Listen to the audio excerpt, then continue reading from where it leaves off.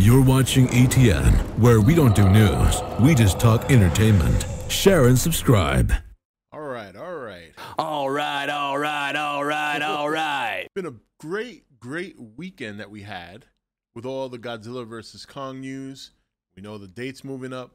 This video, we're going to discuss trailers because at this point, we know it's coming.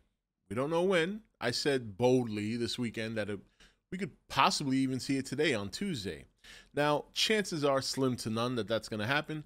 I did recently check the Alberta Film and Trailer Rating website, and right now they only have three titles on there Asia, uh, Kenny Scharf When Worlds Collide, and Li- The Little Things.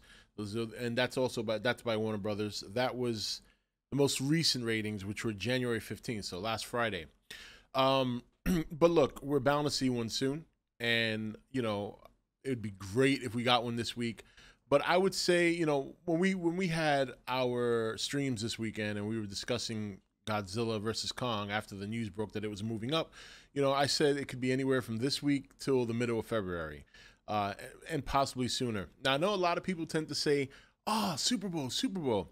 We've never gotten a Godzilla movie trailer on a Super Bowl uh, on a Super Bowl Sunday. It is a lot of money to invest for I think just 30 seconds or maybe and considering you know, if you're going to release a trailer on Super Bowl, you're probably going to be more than 30 seconds, closer to 45. Um, now, on the other hand, though, it would be interesting because you would think, considering the whole COVID thing, that there's a chance that, you know, they could be offering discounts to get more advertising uh, during the Super Bowl. But even then, it's probably not much of one. And I can't see Warner Brothers investing a whole hell of a lot of money on marketing for this movie. Number one, it's basically two and a half months away. Uh, number two, you know, you got to consider the, the the losses they might be taking if they're taking any. You got to consider any of the other financial uh, obligations they might have going forward. So, I mean, the chances of them investing a significant amount of money into marketing is pretty slim. I think what we're gonna get is we'll we'll get one big trailer. That trailer will be split up into commercials here and there to be tossed on TV and you're going to get a lot of advertising on HBO Max for subscribers, and you'll get commercials promoting Godzilla vs. Kong with HBO Max. Now, we've already gotten something very similar to that. I don't know if you guys watch football, but on Sunday I was watching the Saints and the Tampa Bay Buccaneers, and one of the commercial breaks had very much that. It was an HBO Max commercial that was displaying all the movies that are coming out on HBO Max this year, including Godzilla vs. Kong, and they did show that short recent clip we just got of Godzilla coming out of the water and being punched by Kong, they did show that. So that's the kind of stuff we can expect. You know, there is supposed to be, uh, I think, the end of this month, Empire Magazine is supposed to feature Godzilla vs. Kong in the magazine. Chances are, perhaps after that, we'll get the trailer. That's kind of usually how it goes. Uh, if you remember Godzilla uh, King of the Monsters in 2018, I would say about two weeks before Comic Con, when we got that big trailer for King of the Monsters, there was the Empire Magazine release, uh, or at least it was somewhere in that range. It was somewhere in that region. Like within two to four weeks of Comic Con, we got the Empire Magazine feature. Uh, same thing happened with Godzilla 2014. Empire Magazine, remember Godzilla was on the cover. Shortly thereafter, we got a trailer. So if we're gonna follow that formula, then realistically, the trailer's probably gonna hit the first week or two of February which would indeed make it, excuse me, sorry, which would indeed make it mid February from now. So I think that's what you can expect. The bottom line is the trailer's coming soon, and even better, the mo- the movie's coming soon thereafter. So, um, you know, I think it's a very exciting time. You know, we have a, a very short short amount of time to uh to to I guess I don't know in some respects get ready for everything that's coming. Uh, but again, I wouldn't expect too much of a heavy hand on marketing. Uh, like I said, I think it'll be one trailer, and that trailer will be broken down to make smaller commercials, shorter spots, so that way they can save on some money. And then we have obviously the uh, Empire magazine coming out soon. Uh, there's a lot of toys coming out too. A lot of toys. Uh, want to give credit here to James Sidoti from uh, the Nation Facebook page. He was uh, he did he's a big collector, so he went and found that there's already SKU numbers for some of the Playmates Godzilla toys that are coming out, and apparently there are a number of older uh, Godzilla kaiju that they're kind of rehashing into figures. So not not not necessarily in this movie, but as part of you know, taking advantage of the fact that there's a Godzilla vs Kong movie. There's some of the older monsters from like the Showa era. I think Megalon was one of them, supposed to be coming out of Playmates. There were no images, but he had the SKUs. He found them on Walmart. So, you know, we have a lot of toys coming. A lot of merchandise is going to be coming. I think Funko Pop has some some reveals coming this week.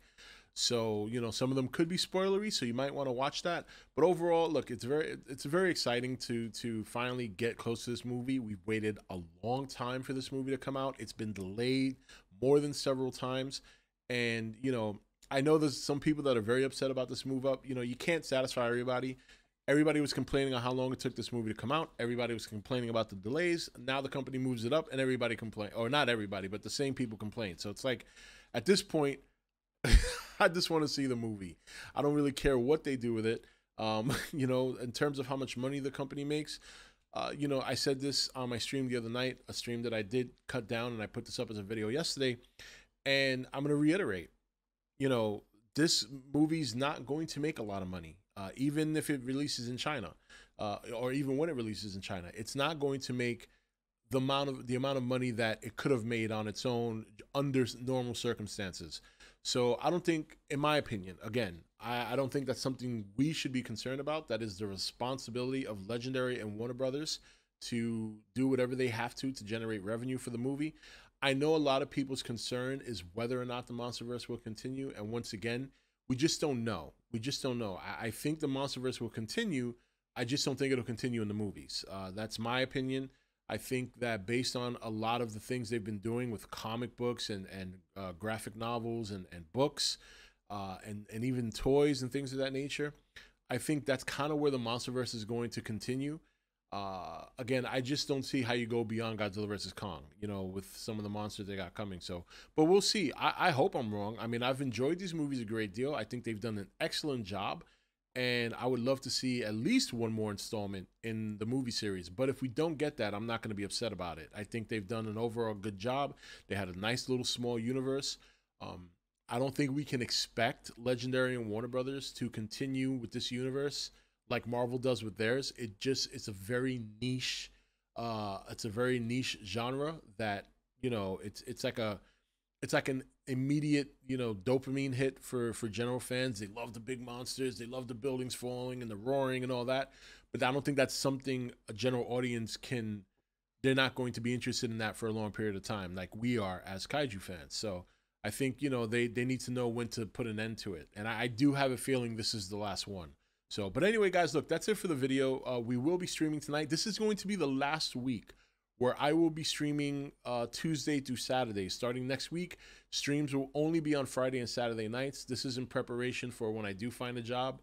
Uh, Friday nights would obviously be my last work. Friday would be my last night of the work week, and Saturday. So uh, you know, and in the meantime, uh, we're getting back to videos. As I said on the stream, and I'll say it here. I want to spend that time that I'm not doing streams. I'm going to be doing videos mainly in the evening. This is an early video, but I'm going to be doing them in the evening, kind of like I used to, uh, because once I do start working again, I'll be only have time to do videos in the evening. So, but anyway, we got some more content coming this week.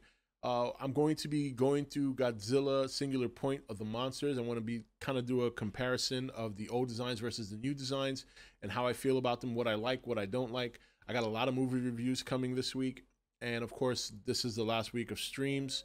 Uh, that not total streaming, just full time. I'll be streaming tonight at 8 p.m. So you can come by. We can talk some more Godzilla if you want.